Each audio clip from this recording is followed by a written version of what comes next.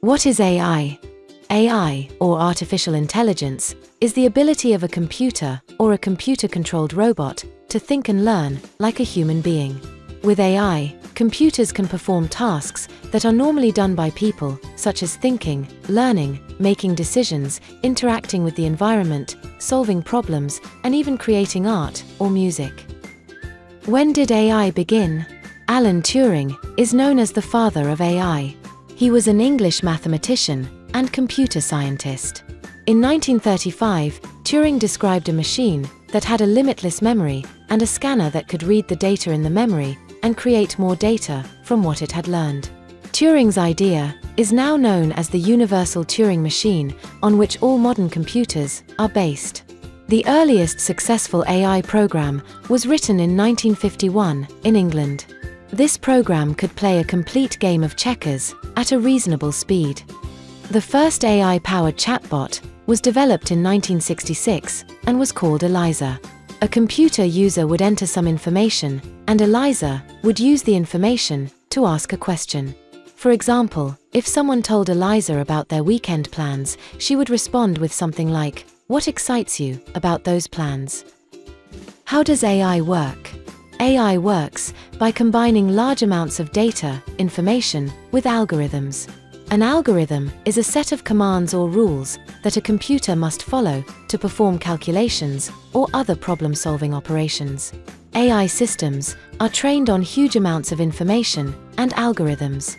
They learn to identify patterns within that information, which then allows them to do things, like having human-like conversations or predicting what an online shopper might buy.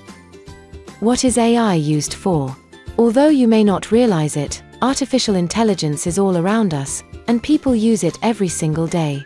Alexa and Siri are examples of conversational AI. This is software that can interpret and understand human speech and respond with solutions in human-like voices.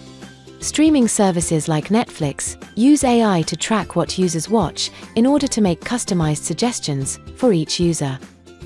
Face recognition on mobile phones, cell phones, is AI technology that can find and identify human faces in digital images and video.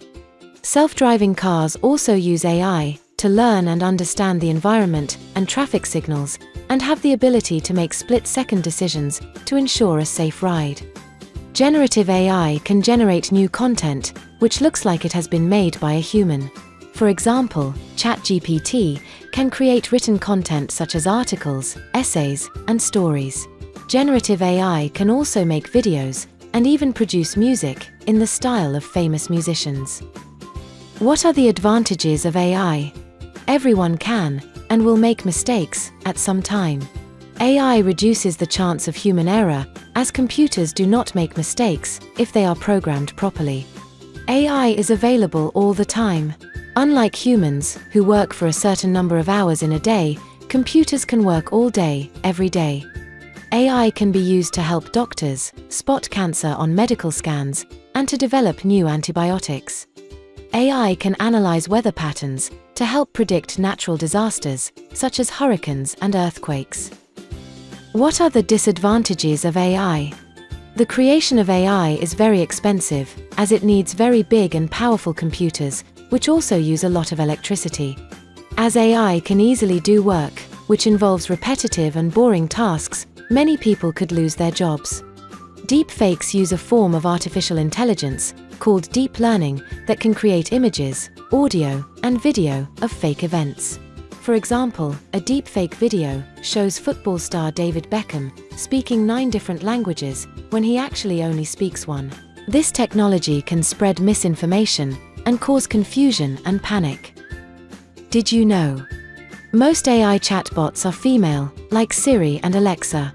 Tech companies and robotic scientists believe that people are more naturally drawn to feminine sounds because they make us feel warm and comfortable.